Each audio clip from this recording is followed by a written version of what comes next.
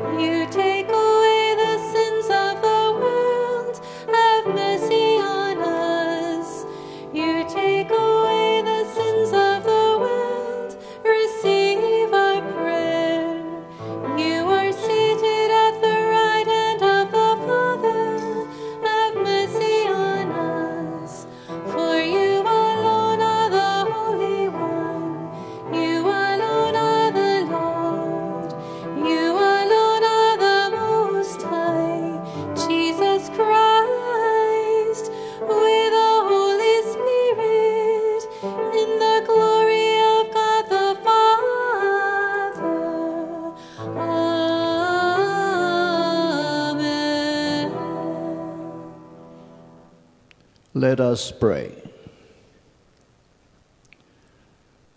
O God, who willed that your word should take on the reality of human flesh and the womb of the Virgin Mary, grant, we pray, that we who confess our Redeemer to be God and man may merit to become partakers even in his divine nature, who lives and reigns with you in the unity of the Holy Spirit, one God forever and ever.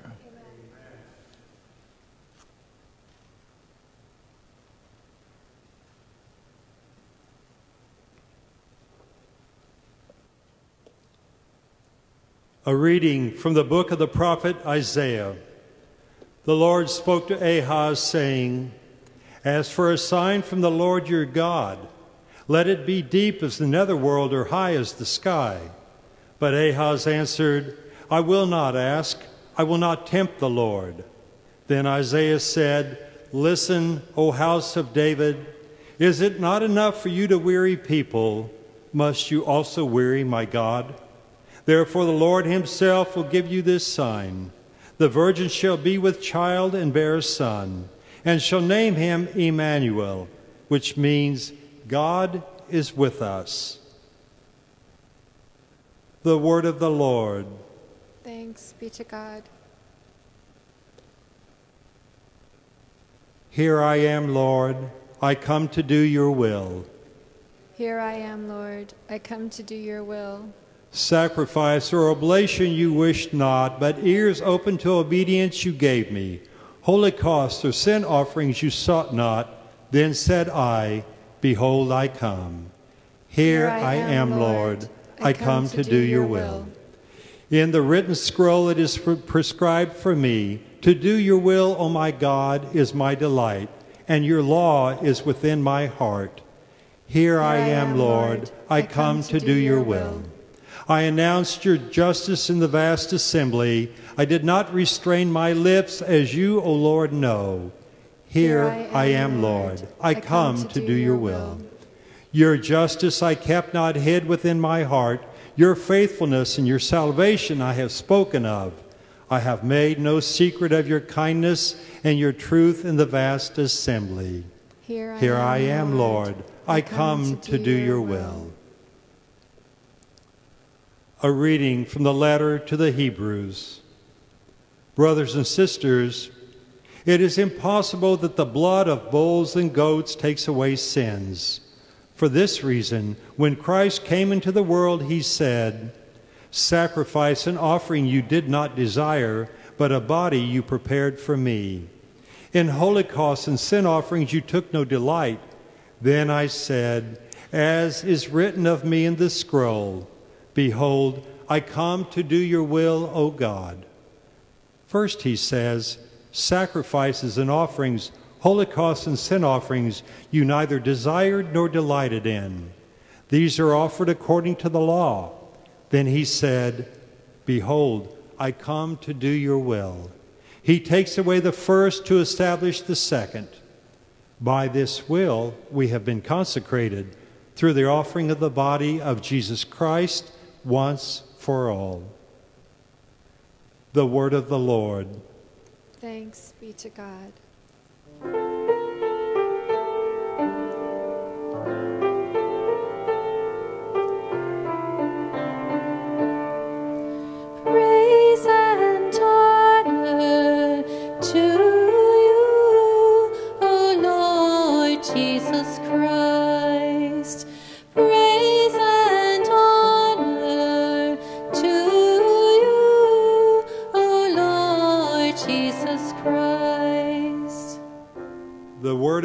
God became flesh and made his dwelling among us, and we saw his glory.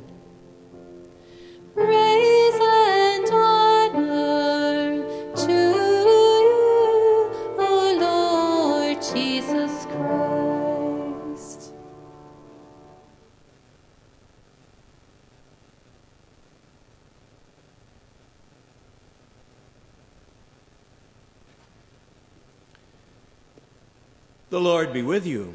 And with your spirit, A reading from the Holy Gospel according to Luke. glory to you, O Lord. The angel Gabriel was sent from God to a town of Galilee called Nazareth to a virgin betrothed to a man named Joseph of the house of David, and the virgin's name was Mary. In coming to her, he said, Hail, full of grace, the Lord is with you. But she was greatly troubled at what was said and pondered what sort of greeting this might be. Then the angel said to her, Do not be afraid, Mary, for you have found favor with God. Behold, you will conceive in your womb and bear a son, and you shall name him Jesus. He will be great and will be called the Son of the Most High. And the Lord God will give him the throne of David his father, and he will rule over the house of Jacob forever, and of his kingdom there will be no end. But Mary said to the angel, How can this be, since I have no relations with a man? And the angel said to her in reply, The Holy Spirit will come upon you, and the power of the Most High will overshadow you. Therefore, the child to be born will be called Holy, the Son of God. And behold, Elizabeth, your relative, has also conceived a son in her old age. And this is the sixth month for her who was called barren. For nothing will be impossible for God. Mary said, Behold, I am the handmaid of the Lord. May it be done to me according to your word. Then the angel departed from her. The Gospel of the Lord. Praise to you, Lord Jesus Christ.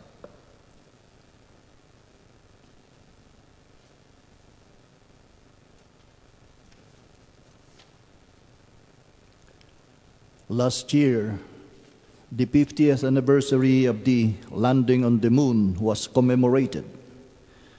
One of the astronauts who walked on that lunar dust, reflecting on this event, said, How wonderful that man walked on the moon, but even more wonderful that God walked on the earth.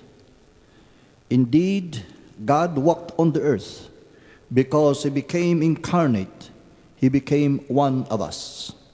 But that incarnation took place because of the yes of a woman.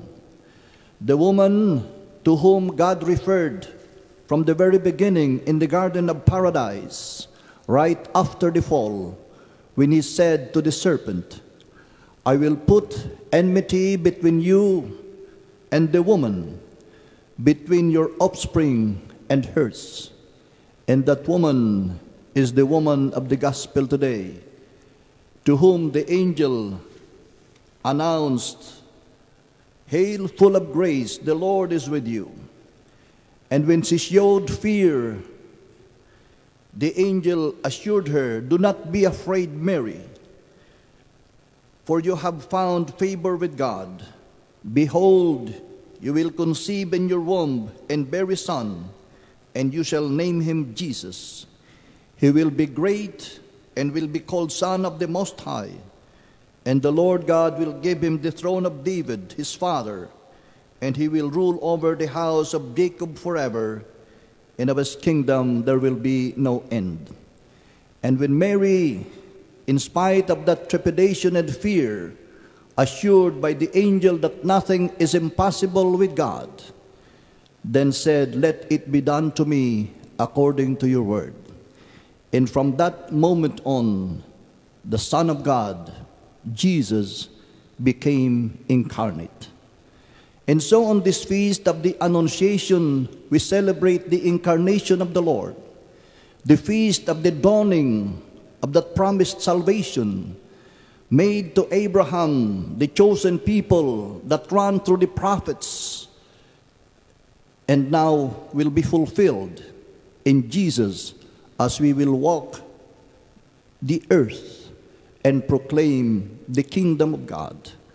And finally, offered himself on the cross as payment for our sins, as ransom for our captivity and slavery to Satan. And so here we see the movement of salvation that just as sin came into the world because of man's refusal to obey the command of God, thou shalt not eat of the fruit of this tree in the middle of the garden. Yet man in Adam and Eve disobeyed that command and ate of the fruit. And so sin came into the world in death. And God in Jesus would bring back that salvation, would bring back that life, that alienation brought about by sin. And that came because of the yes, the yes of Mary to the angel's annunciation today of the birth of the Son of God. The same yes as we heard in the second reading today. Behold, I come to do your will, O God. And indeed, as Jesus would pray, as we will celebrate Holy Week, if this cup, Lord, I do not want to drink of this cup. If it is possible, I do not want, but not my will, but yours be done. And so, salvation consists in the yes to God's will, to His word, God's yes to His commandments, God's word to all of us that we find in His commandments to love Him and one another.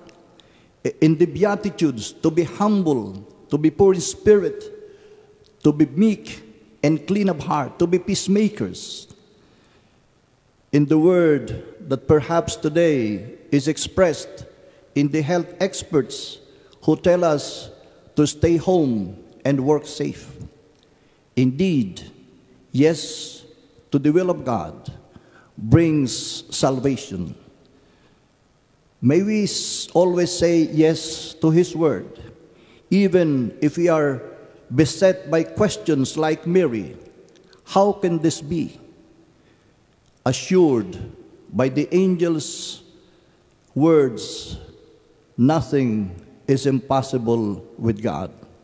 So, with the same trust and faith, like Mary's, let us pray for the grace to continue to journey towards the kingdom of God, to walk with Jesus, God made man, God with us, until finally we arrive at the kingdom which is our true home.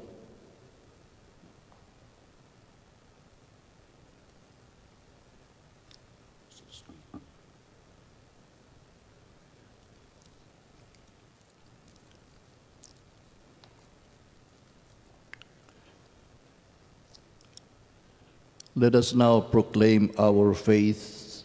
I believe in God, the Father Almighty, creator of heaven and earth, and in Jesus Christ, his only Son, our Lord, who was conceived by the Holy Spirit, born of the Virgin Mary.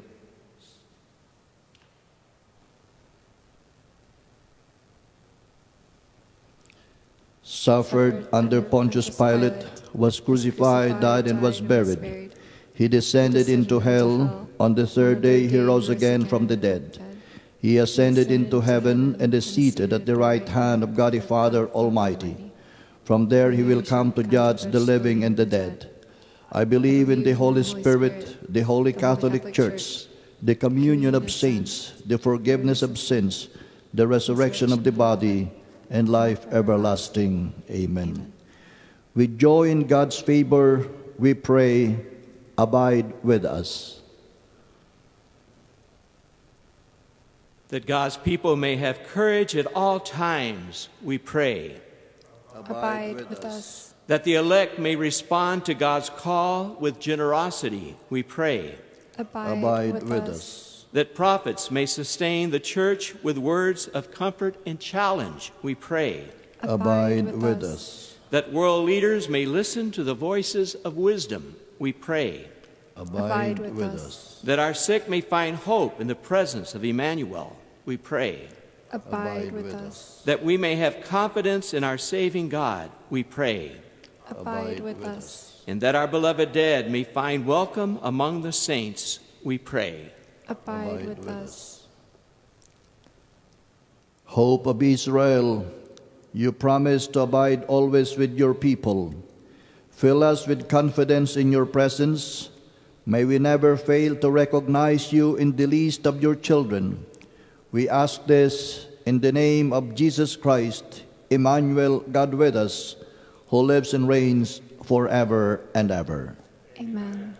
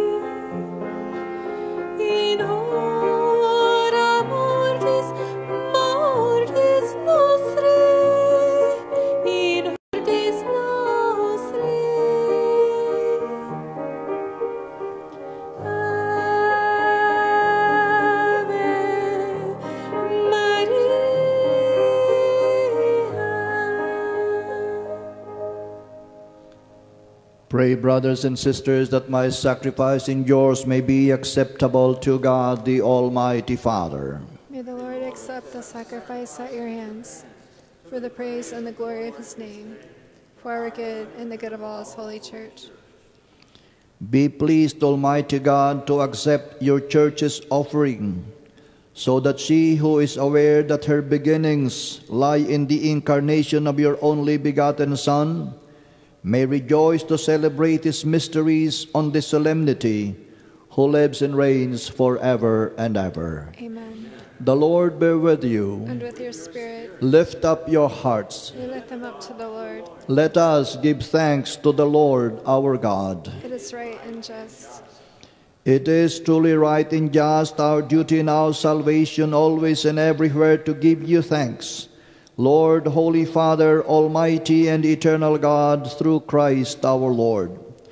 For the Virgin Mary heard with faith that the Christ was to be born among men, and for men's sake, by the overshadowing power of the Holy Spirit. Lovingly she bore him in her immaculate womb, that the promises to the children of Israel might come about, and the hope of nations be accomplished beyond all telling. Through him the host of angels adores your majesty and rejoices in your presence forever. May our voices, we pray, join with theirs in one chorus of exultant praise as we acclaim.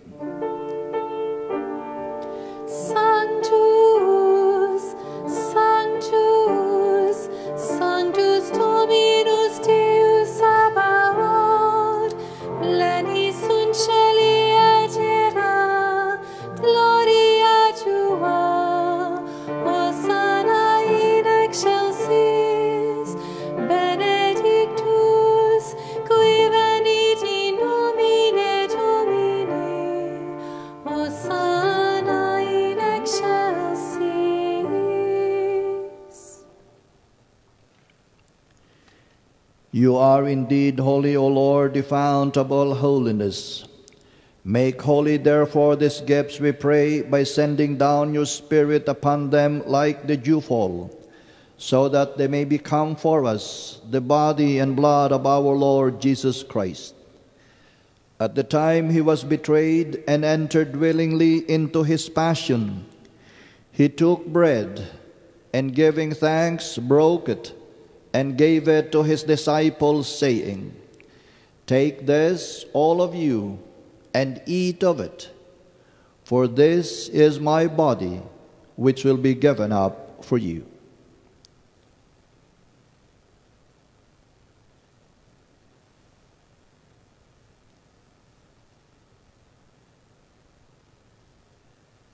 In a similar way, when supper was ended, he took the chalice and once more giving thanks, gave it to his disciples, saying, Take this, all of you, and drink from it. For this is the chalice of my blood, the blood of the new and eternal covenant, which will be poured out for you and for many for the forgiveness of sins. Do this in memory of me.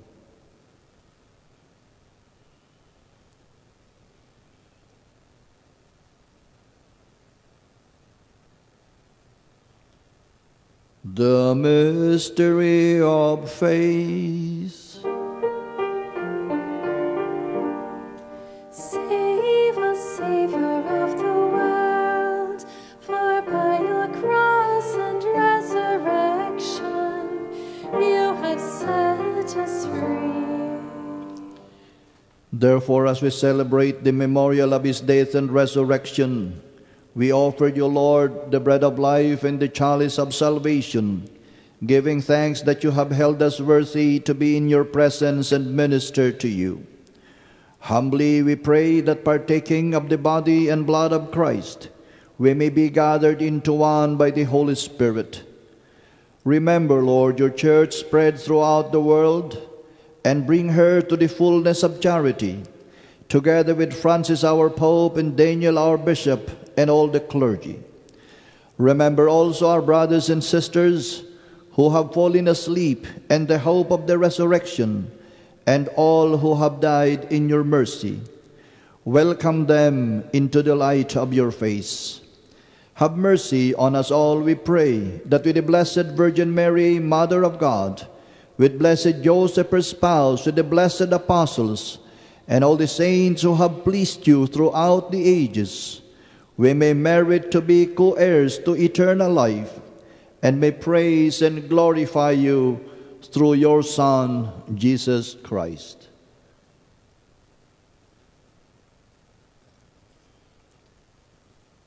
Through him and with him and in him, O God, Almighty Father, and the unity of the Holy Spirit, all glory and honor is yours forever and ever. Amen.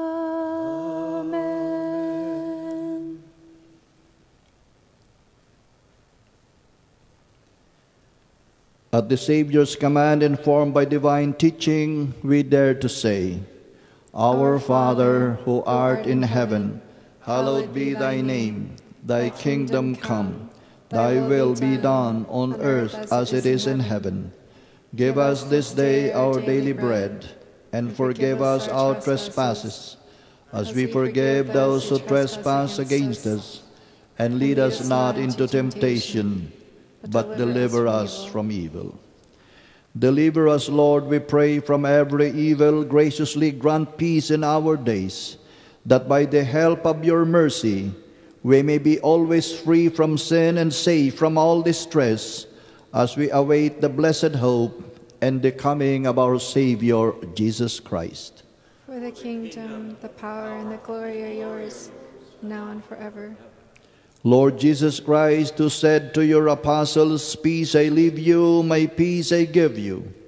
Look not on our sins, but on the faith of your church, and graciously grant her peace and unity in accordance with your will, who live and reign forever and ever. Amen. The peace of the Lord be with you always. And with your spirit, Let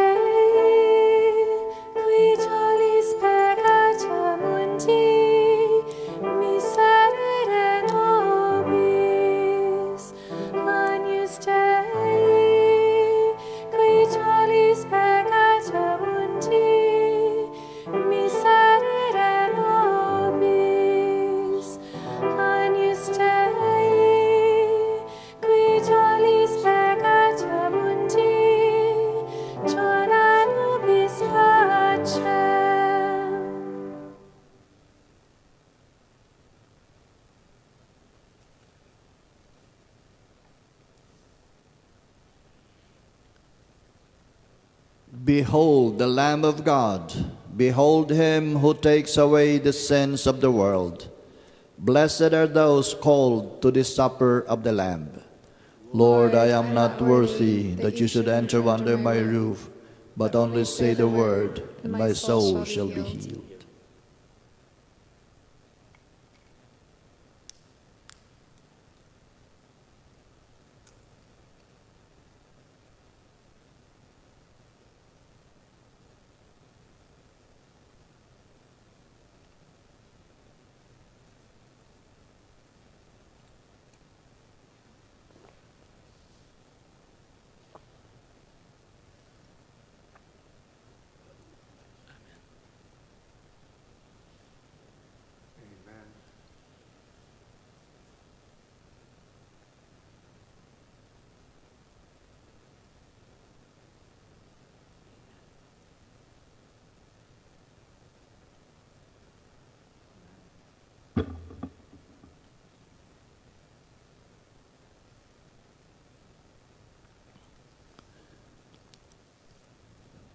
Since you cannot receive communion physically at this moment, so I would like to invite you to recite with me this act of spiritual communion.